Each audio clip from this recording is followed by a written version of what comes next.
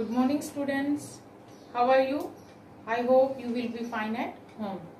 Once again welcome in DP class. You know very well first chapter is going on in DP power sharing. We are doing revision.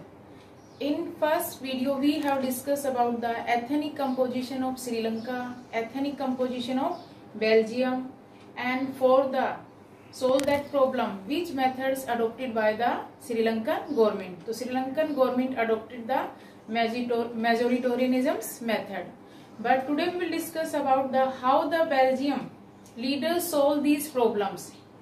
That ethnic because Belgium was also a very complicated model they have adopted and how they solve these problems. So now we will see accommodation in Belgium and how they adjust all the uh, diversities, regional differences and cultural diversities.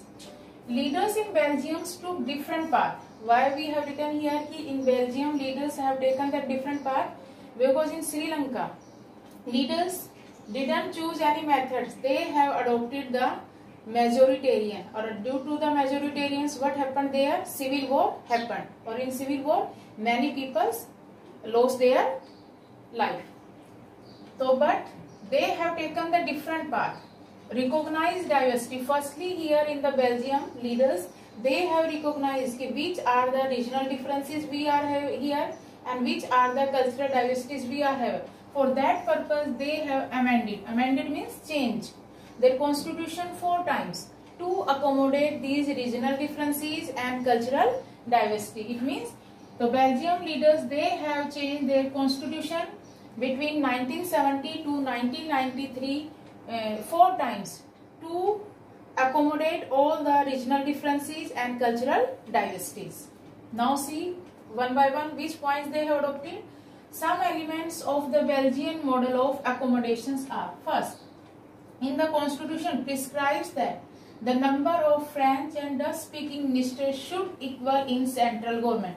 First, what they have decided कि in the central government, French speaking and Dutch speaking minister will be shall be equal in central government. Thus, no government, yeah, we can say that single community can make unilaterally decisions. Unilaterally means taking one side decision. It means ना तो French अपने level पर कोई decision ले सकती है ना ही Dutch अगर उनको कोई डिसीज़न लेना है तो it means French and Dutch speaking both ministers will give their opinion. It means no single community can take the one side decision. Second, central government given some power to the state government also. They were not subordinate to central government. It means they, they don't work under the central government. It means they will also do work independently. Third, Brussels had a separate government or in which both the communities have equal representation.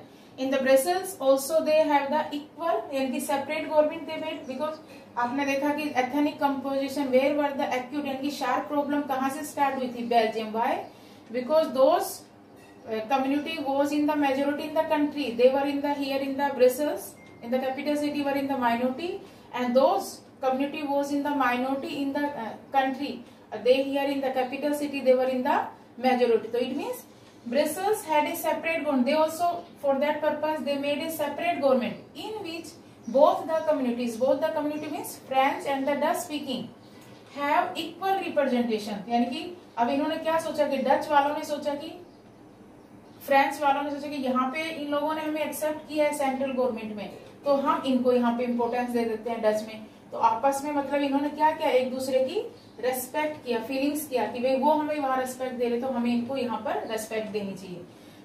पर इसी के साथ साथ central और state government के साथ साथ उन्होंने एक अलग से और गवर्नमेंट बनाई। That was the community government third kind of government community government community government means is elected by the people belonging to one language community may be Dutch speaking French speaking या German speaking no problem no matter where they live they can solve their own problem यानी कि this government has power यानी कि community government is having the power यानी कि related to their area they can solve these problems regarding to the cultural educational and language related issue it means they can solve their all problems their own cultural, educational and language related issues. Now Brussels was chosen as headquarters for European Union. Why the Brussels had chosen the headquarters? Many European countries came together to form the European Union. Why they formed the European Union? They want to solve the problems of socially, economically and politically simultaneously so they can develop all the European यानी कि all the European countries together ताकि they can do work for the benefits of the common masses or why they have chosen the headquarters of the Brussels? Because they have seen that ki how the Belgian government solve their regional uh, differences and cultural diversity. So that's why Brussels was chosen the headquarters for the European Union. So you can from so many three four questions mainly. It means how many times Constitution of Belgium was amended between 1970 to 1993. How many times? Four times. What do you mean by community government? Where was the headquarters of the European Union? And how the Belgium government, your Belgium leaders solve the ethnic problems. Yani how, which models they have adopted. So you can write down four points. Now we will see कि how the Belgians and Sri Lankan government solve their problems. We know very well कि Belgium model was also very complicated, but they solve their problem. They avoid civic strife between the civic strife. You can say that conflict between two communities. Or what were the two main communities here? Dutch and the French speaking. They avoid the civic strife. If they didn't adopt अगर वो ये model adopt नहीं करते तो उनकी country क्या होती? May be divided on the basis of language हो सकता है कि लैंग्वेज बेसिस पर डिवाइड हो जाती but they adopted the different pass ताकि सभी को इक्वली इंपोर्टेंस मिले। तो the what they have done the leaders have realise the unity of the country is only possible by respecting by respecting the feelings respecting interest and feelings of other um, we can say that communities and regions. It means they have given the chance to each and everyone but sri lanka they have adopted the different methods. It means they have adopted the majoritarianism method. It means a majority community wants to rule a country whatever it wants to do it means they don't take care about the minority groups of people and they refuse to share the power it means it can undermine the unity of the country. Next, what can we see? For what purpose? What was the conclusion? Sri Lanka didn't adopt the accommodation. For that purpose, civil war started there. So in civil war, many people died there. Thousands of, we can say that thousands of soldiers died there. Many people lost their livelihood. But in the Belgium, they have adopted the different mo models and they solve all the problems. Now in we will discuss about why power sharing is desirable. Now we will discuss why power sharing is desirable. We can say that why power sharing is necessary in a democracy government, form of government. First we will discuss about the, there are the two main reasons, prudential reasons and moral reasons. In firstly we will discuss about the prudential reasons it reduces the why power sharing is necessary or important. It reduces the chances of conflict and the dispute disputes between various social groups. If we will not divide the power among the social groups so what would be happen? Conflicts will be arises where? In the various social groups. And violence and when uh, social conflicts were arises so what will be happen violence and political instability will arises in the country. So if we want to avoid violence and political instability so that's why we should divide the power among the different social groups. Third power sharing is a good way to ensure political stability. If we will divide the equally power among the different different social groups so it means what can we maintain in the society? Political stability we can maintain in the society. Power sharing will bring out better outcomes. If we will divide the power among the different social groups, so it means there is no chances of any conflicts. If there is no chances of any conflicts, so it means uh, no violence and no political instability. So it means what expect can be done from that it means basic यानी कि results will come out better यानी कि अच्छे results आएँगे इससे if you divide the power और और क्या काम करती power sharing power sharing checks the imposition of majority community over others जैसे हमने उसमें देखा श्रीलंका में। मेजोरिटी कम्युनिटी मेजोरिटी कम्युनिटी क्या से थे उसमें? Sinhala speakers it means they can run the country in the short term it will be good but long term we can not say that की majority country majority community whatever they want to do they want to rule according to their country it is not a good result it means who will check power sharing checks the imposition of majority community over others so what are the examples of the prudential regions reservation of constituencies for minorities and women in India इसीलिए हमने India में क्या इसके लिए एक समाधान किया है जो हमारे एससी और एसटी और वीमेंस है उनके लिए कुछ सीट्स हमने क्या कर दी हैं कॉन्स्टिट्यूशन कॉन्स्टिट्यूएंसीज में ऑलरेडी रिज़र्व कर दी हैं now we will discuss about the moral reasons power sharing is the very spirit of democracy. Why we are saying power sharing is the very spirit of democracy? Because all the power lies in the hands of people. It means in the democratic form of government we are choosing representatives with the help of people. So it means who is having all the powers? And people is having.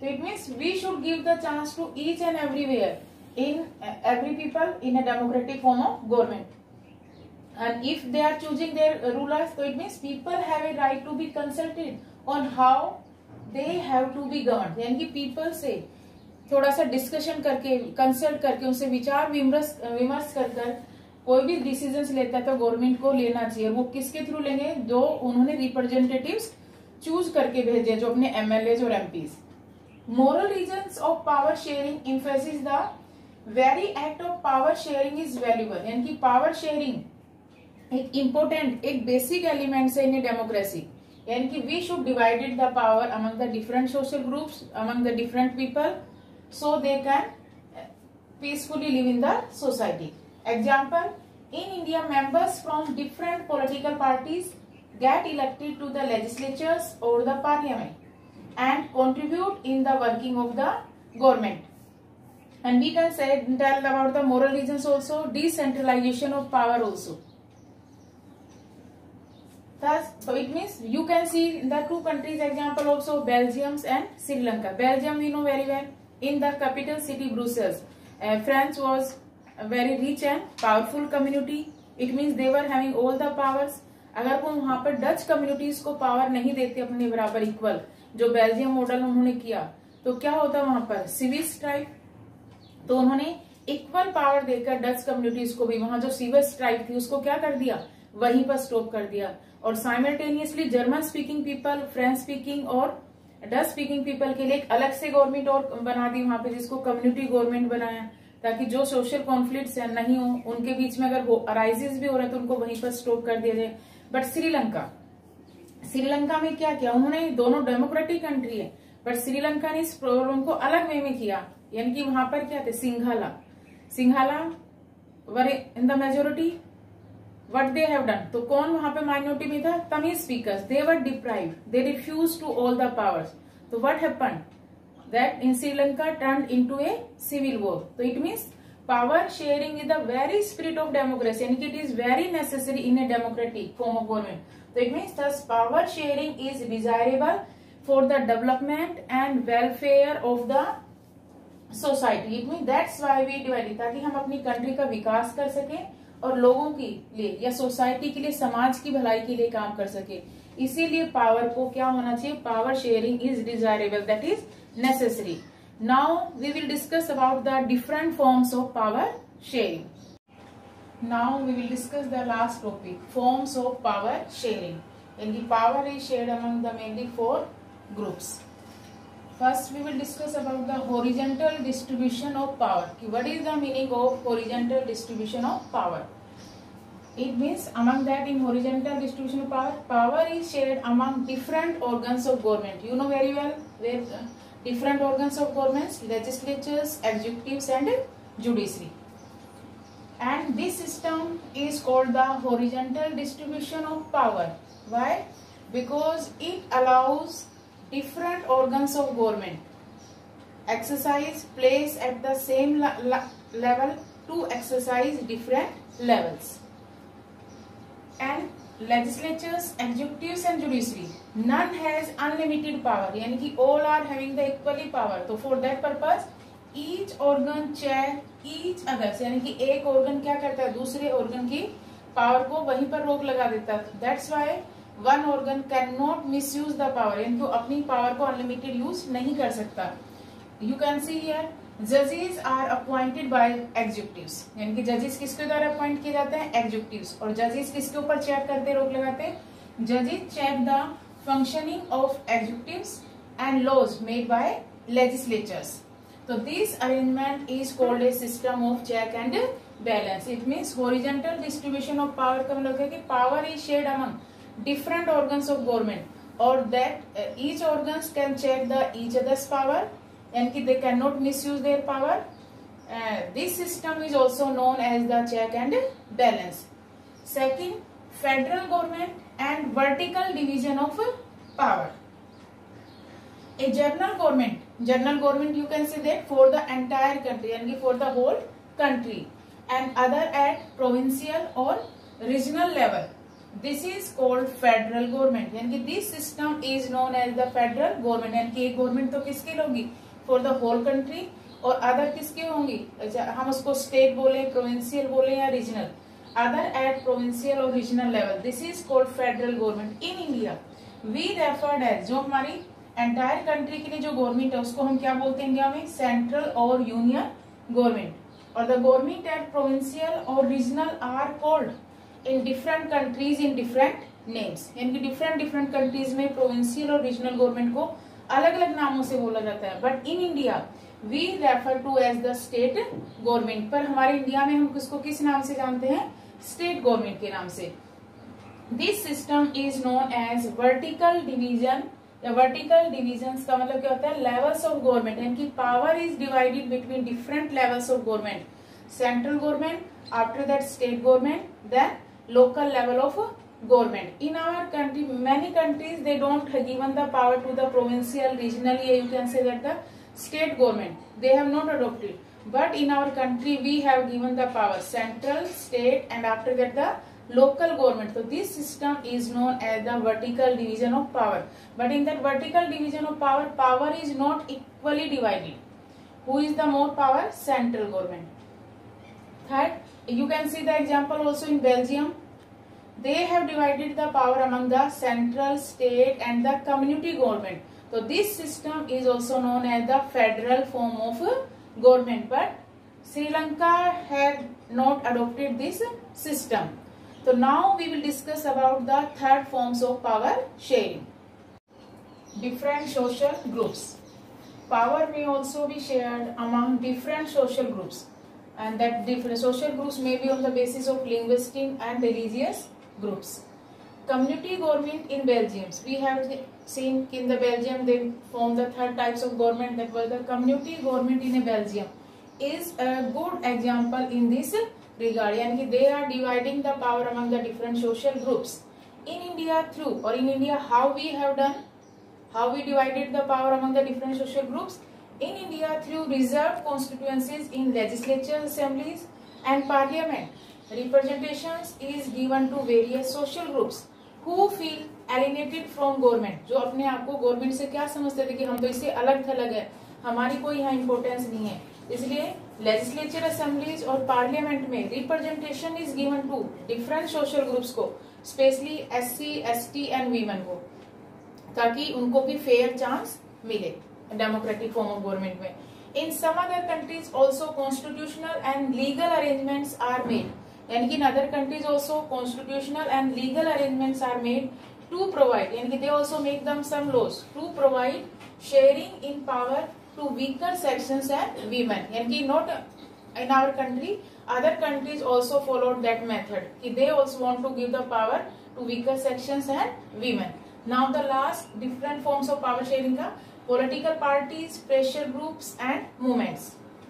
एनकी political parties pressure group and movements control और influence these in power यानी कि they are having power तो it mean they can control the government policies and programmes people have right to choose various contenders of powers यानी कि people को right है कि different different representative को जो इलेक्शन में जीत के आएँगे रिप्रेजेंटेटिव उनको चूज़ करने का अधिकार है तो कॉम्पिटिशन अमंग डिफरेंट पार्टीज़ तो इससे क्या होता है डिफरेंट डिफरेंट पार्टीज़ में कॉम्पिटिशन क्रिएट होता है such competition ensure power is not in one hand जब इस तरीके के कॉम्पिटिशन होता है तो इससे क्या लगता है कि खाली एक ही पार्टी के हाथ में पूरी पावर नहीं है। क्यों? आजकल क्या सिस्टम आ गया है? फॉर्म ऑफ़ गवर्नमेंट कौन सा हो गया? डेमोक्रेसी तो कोई पार्टी ये नहीं कह सकती कि हम इस बार मेजोरिटी में है तो नेक्स्ट टाइम भी हम मेजोरिटी में रहेंगे। क्योंकि तो इसीलिए हम इलेक्शन हेल्ड करवाते हैं कॉम्पिटिशन क्रिएट होते हैं।